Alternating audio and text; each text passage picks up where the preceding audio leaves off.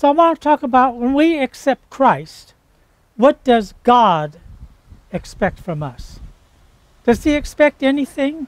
Or is there something that, that he wants us to do? You know, this book is full of ways that God wants us to live our lives. Do you know that 40% of people who go to church every single Sunday are not saved? That means people who go to church every week have never accepted Christ as their Lord and Savior, has ne- they have never changed, but yet they sit there week after week after week thinking that they are a Christian. I've had people tell me, when I ask them if they're a Christian, had them tell me, Of course I'm a Christian. I go to church every Sunday. Does going to church every Sunday make you a Christian? I have people tell me when I ask them if they're a Christian, they say, Of course I'm a Christian. I'm an American. Does being an American make you a Christian? And then I have people say to me, Well, of course I'm a Christian. I'm not Jewish. I don't know if Pastor Bruce, if you've had people tell you these kind of things, what they think it is to be a Christian. But us, this morning, I want to talk about what does God expect to expect from us. If you have your Bibles, I want you to turn to the book of Second Corinthians, chapter 5, verses 14 through 17. 2 Corinthians, chapter 5, 14 through 17.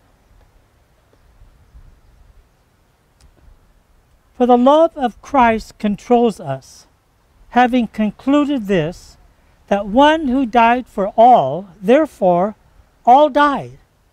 And he died, that is Jesus, died for all, so that they who live might no longer live for themselves, but for him who died and rose again on their behalf. Therefore, from now on, we recognize no one according to the flesh. Even though we have known Christ according to the flesh, yet now we know him in this way no longer. Therefore, if anyone is in Christ, he is a new creature. The old things have passed away. Behold, new things have come. So, does God expect anything from us when we accept His Son? Are we supposed to say the stay the same, or do we change? Do we start thinking differently, acting differently, speaking differently? What happens when Christ comes into our lives? And for those of us who are Christians here today, can you say there has definitely been a change in my life since I invited Christ to come and live in me? And has that change continued? It isn't just a one time change, but it means all through your Christian life you make changes in how you live. God's Word, the Bible says that when we believe, we do become new creations. I hope one of your challenges today, there will be many, that one of your challenges today will you will think, yeah, since I became a Christian, what has happened to me? Am I the same or am I different? So let's read 2 Corinthians 5:17, one of our favorite verses, and I know many of you have come to the Bible study have memorized that verse. Therefore, if any man is in Christ, he is a new creature. Now, if you are into the daily bread, yesterday was interesting because it talked about that. And this is how they said about that verse it said, If anyone is in Christ, the new creation has come, the old has gone, the new is here. Do you feel like a new creation since you've accepted Christ? It appears that Paul says a change must take place, fast or small, slow, but a change has to happen. And God expects us to become new creatures and to be born again. Now, we are not to be afraid about being born again.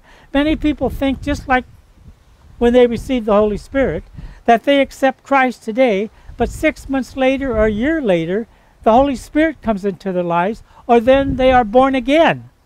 But we know that from the moment you invite Christ to come into your life, you become born again. When I was over in Hawaii, over in Waikiki at our church service over there, our ministry there, I was I was part of what they called the God Squad. It meant that after the service, a group of us went out amongst the people. At that time, we had three or four hundred people coming to our services. So we never knew exactly who was out there, who was Christians or who, were, who was not. And one of our jobs was to go and, and talk to the people. And remember, I asked one lady, Are you a Christian? She said, Oh, yeah, I'm a Christian, but I'm not born again. Like being born again was something weird.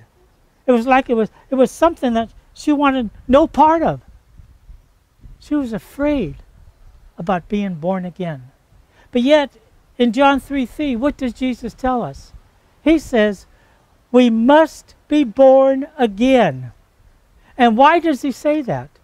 Because he goes on and says that, Truly, truly, I say to you, unless one is born again, he cannot, cannot see the kingdom of God. Amen. Amen is right. But yet, many people think you can see the kingdom of God if you go to church every Sunday. You can see the kingdom of God if you say that you are a Christian, but yet there's never been a change in your life. It's not always easy, but a change must take place in our lives. And it must be a change that other people can see. Not just you, but other people. Remember the story when I was in um, Okinawa and the guy, uh, he accepted the Lord. And a week later, he came down the stairs and he said, I looked in the mirror this morning and I said, You're not the same person that I saw last week. He knew there had been a change in him. He saw that change, and other people, his friends, his family, his wife, his kids, saw the change that took place in his life. So when we become this new creature, then we are to become, now this is another challenge that's difficult, but we are to become preachers for Jesus. We are to become teachers. Many people think it's, it's just pastors and evangelists and missionaries, that we're the only ones that should share Christ. But yet, the Bible says we are the ones that must tell other people about Christ. Listen to the book of Romans. For whoever will call upon the name of the Lord will be saved. How then shall they call upon him to whom they have not believed? And how shall they believe in him whom they have not heard? And how shall they hear without a preacher? Folks, you guys are the preachers. You who are born again, you're the teachers. You're the ones that God uses to bring other people into his king- kingdom. And when we when we know Christ, he becomes our friend and he is the one that we want to share with other people. And sometimes when we share, we never know when it's going to happen.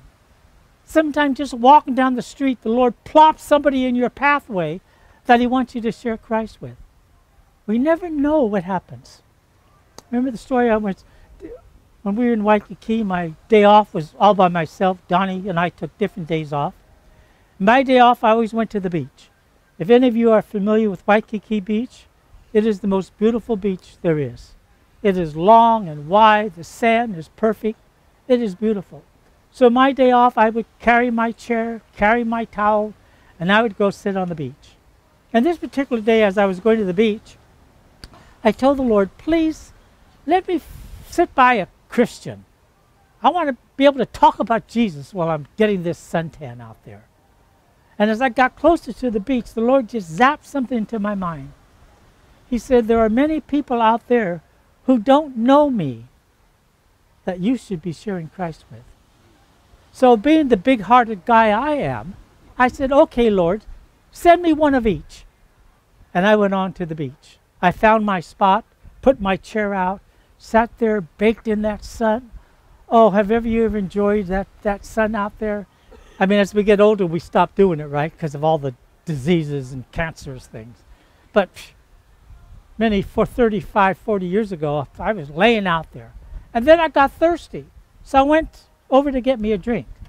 Diet Coke, of course. And I got a drink, and when I was coming back, there were two people sitting right in my space. And I'm thinking, why in the world? The beach is so big. Why are they sitting right in my space? And as I got closer, I, I recognized the woman. She had come to a, one of our Bible studies, and she was a Christian. But the person with her was her husband, and he was not a Christian. So what did I do? Big smile came over my face. I looked up in the heavens and I said, Thank you, God, you sent me one of each. And of course, to make that story short, three or four weeks later, he came to our Bible study and he accepted Jesus Christ as his Lord and Savior. He, God just plops somebody in your pathway when you don't even realize what you are doing. So it appears that the Bible, God's words, are saying to us that we who know Jesus are to be his preachers. We're to be his teachers. We're not to be ashamed of him, but we are to share Christ with the people that are lost. And we must remember that God is alive on this planet Earth. How is he alive? Because he lives in the heart of every single one of us. People will say, Your God is dead. We say, No, he's not dead. He lives right in here. God is alive in our heart. Something else, a challenge for us Christians, and I know most of you do this, is that we are to become believers. When we become believers, we are to pray. I'm sure every one of you finds some time during the day or during the week or during the month or during the year to pray to God.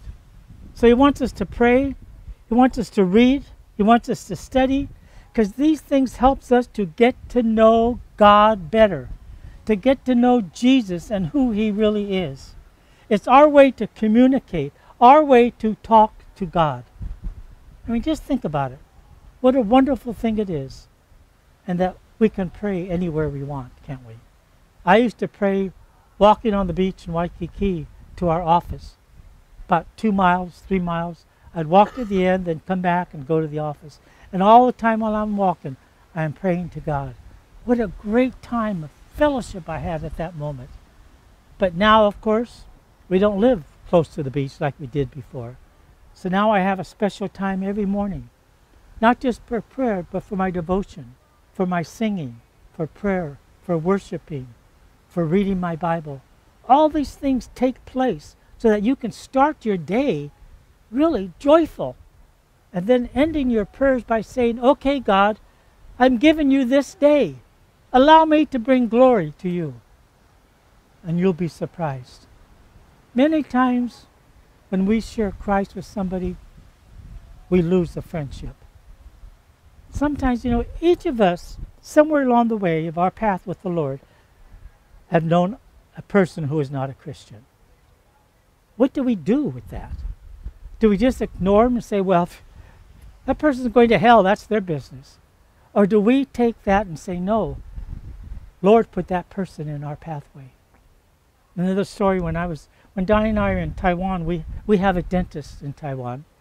And believe it or not, this may not strike you funny, but he's a dentist and his name is Dr. Chu. Now, do you think that's weird? A dentist called Dr. Chu? I mean, every time I used to sit there and talk to him, I, I just think of Chu. He's taking care of my dentist. He's Dr. Chu. I thought that was weird. And, and I would meet with him for lunch. And even he would bring his son once in a while. His son wanted to speak English, so we would sit down and have lunch. But one day, after going meeting him many times, I felt I've got to give him the plan of salvation. He was a Buddhist. I've got to do it. It's important that the Lord has put me in his pathway, and Donnie's for a while there. Donnie's teeth needed to be taken care of, and I broke my tooth. As Lord was saying, if you don't tell him about the Lord, I'm going to keep breaking your teeth so you'll get the message. So I shared the Christ, shared the plan of salvation for him. I lost his friendship. But it was okay. I did what God wanted me to do. His friendship was good, it was important, but not as important as letting him know how he could see the kingdom of God. Amen. That is the most important thing for us. And then in prayer, Jesus tells us of a special place that we can pray. Praying in a group is great. Praying on one to one is great. Praying with your spouses is great. But Jesus knew to really get down to the nitty gritty of things that we have to pray for, we can only do it alone with Him. So this is what He says. But you, when you pray, go into your inner room, and when you have shut the door, pray to your Father who is in secret, and your Father who sees in secret will repay you.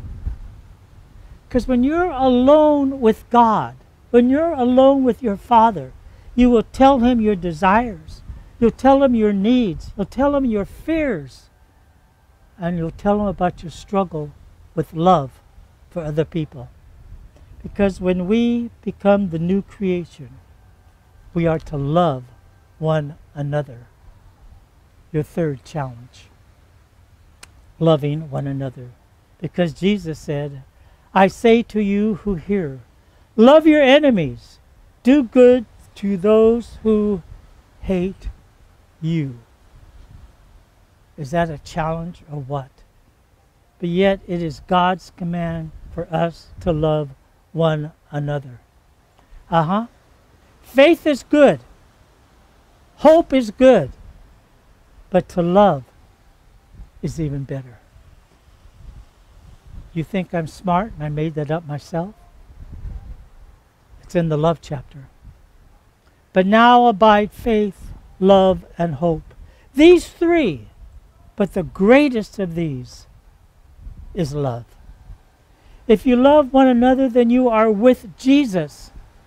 If not, then we are against Jesus. And we have a choice to be either with Jesus or against him. Jesus said, He who is not with me is against me, and he who does not gather with me scatters. There are only two kingdoms the kingdom of darkness and the kingdom of light. We call that heaven or hell. Now I know as I walk around, most of you, I, I know I know where your heart is. I know you've accepted Christ. I know you have chosen heaven over hell. But what are you doing with the knowledge that God has given you? Are you holding back in sharing Christ with somebody because you don't want to lose a friendship? Or is there someone who says that I am a Christian, but but you're not sure that person is really a Christian? You, you, you're not feeling it. You're not discerning. Just because someone says they're a Christian does not make them a Christian.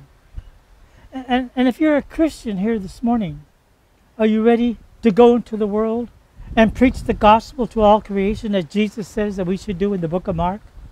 Remember, the world is right where you live your neighborhood, your friends, your job, your school, wherever you may be. That is the world to God. It doesn't mean you have to travel around the world, your world is right where you live. So if you know of someone who is not a Christian, ask God to give you the strength and the power to be a, to you may not lead them to the Lord, but you'll be able to show them the plan. Because it's so important for us to share Christ and to allow the power of the Holy Spirit, as Acts tells us, that the power of the Holy Spirit will be the one who will help us to witness. We are never alone because God is always with us.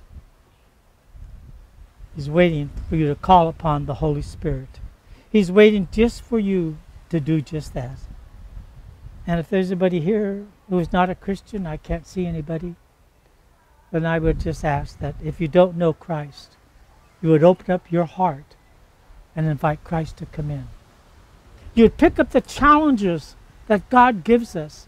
It's not just read your Bible and then forget, but read it and see what does God have for me. And you will be surprised as you share Christ of what it is. Must be important. Share Christ with the lost. Open up your heart and allow God to use you to bring glory to Him. Do I hear an amen to that? And a hallelujah? Hallelujah. And a praise the Lord? Praise the Lord. I hope that you are challenged. Hope this just doesn't stop here.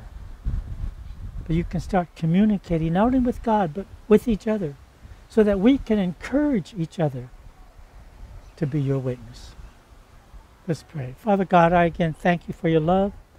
I thank you for your Son, Jesus Christ. Father, I thank you for loving us like no one else can. In spite of whatever we do, how we act, what we say, you are always there, forgiving us and loving us and forgetting all things that we do so that we can start fresh and new. Allow us, Father, somehow to have that kind of love for one another. Allow us to, to be your witness. Allow us, Father, to get into a prayer time. Allow us, Father, to know that you are the most important thing in our life. And, and, and if there's someone out there you want us to witness to, Father, give us that power. Allow the Holy Spirit to work in us so that we can share your Son, Jesus Christ, to that individual. Maybe the person may not accept Christ, but we have shown them the way for eternal life in heaven. And now I do praise you and I do thank you for all things in the precious name of Jesus.